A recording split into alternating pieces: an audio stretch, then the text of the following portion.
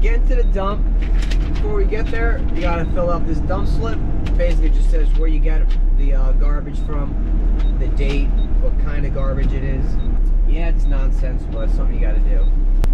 All right, so we scale in. Basically, we get our weight, give the paper to the guy at the scale, dump it, scale out, weigh it again, get the uh, weight difference, pay the bill.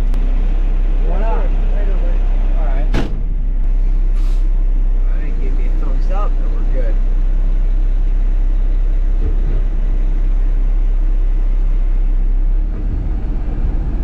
Usually I can go here and dump. There's six bays. The roll-off dumpsters usually get bay four, five, and six. Garbage trucks, like for houses and uh, behind buildings, are usually at uh, one and two. So I'm gonna go to two right now. People go if you know about it. With one, you you have to angle it in. You got to angle it in towards the uh, where the garbage is. So I got to hold unlock and hold the tailgate open.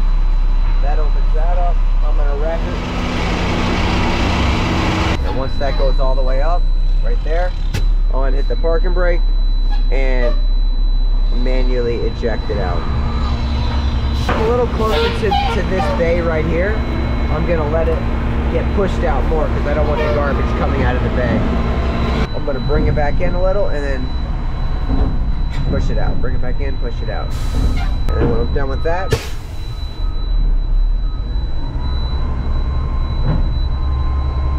I'm gonna bring the blade all the way back, then I'm gonna get out, make sure there's no garbage on the tailgate, and then we'll get out of here. But I'm gonna close it until it's like a foot open, and then I'm gonna get out and check. Nothing sharp hanging out of the seal, so the seal's not gonna break. So we're gonna close this up.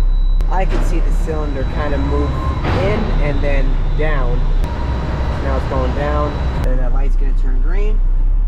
And I already got the blade back already. So we're gonna get on out of here. And then we'll wait. I'll uh, get the next view at the at the scale.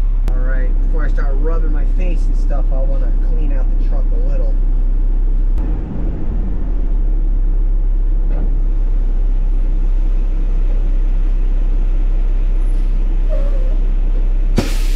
So we're at 54,000 and then now we're at 40,000. So I can see the uh, weight here.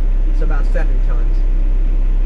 Pretty heavy. Pretty heavy. We, we only got, and overall it was one, two, three customers, which are complexes, and then two other customers.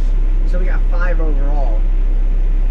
And two of those customers were only one dumpster. One of them was 16, one of them was four, and one of them was three dumpsters.